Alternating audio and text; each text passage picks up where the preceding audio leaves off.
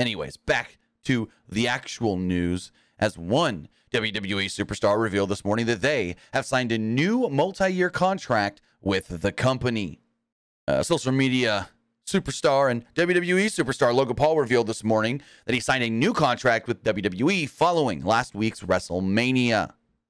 WWE and ESPN describes this as a multi-year deal as the previous deal was thought to have been a multi-year deal, but it was really just a one-year deal. Uh, ESPN has a write-up about this that they actually spoke to Logan Paul in as the ESPN's Mike Cooper uh, Coopering Cooperinger writes the following. Logan Paul has re-signed with WWE on a multi-year deal. Paul and the promotion's chief content officer Paul Triple H Levesque told ESPN.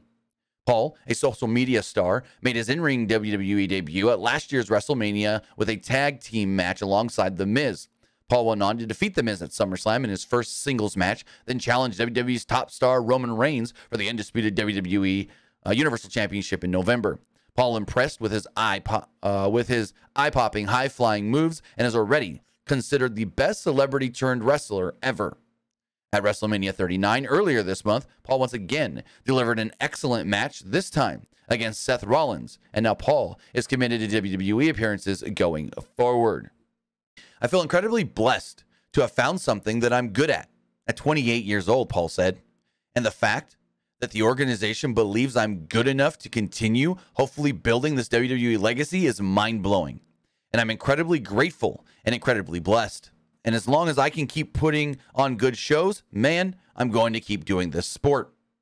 Triple H spoke on this, stating, quote, Logan has just been a game changer. I mean, he's probably the most natural guy I have ever seen.